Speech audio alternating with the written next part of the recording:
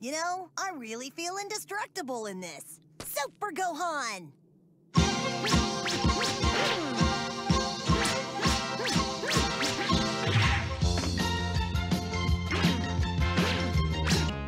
Get ready to meet the universe's most powerful Saiyan good guy!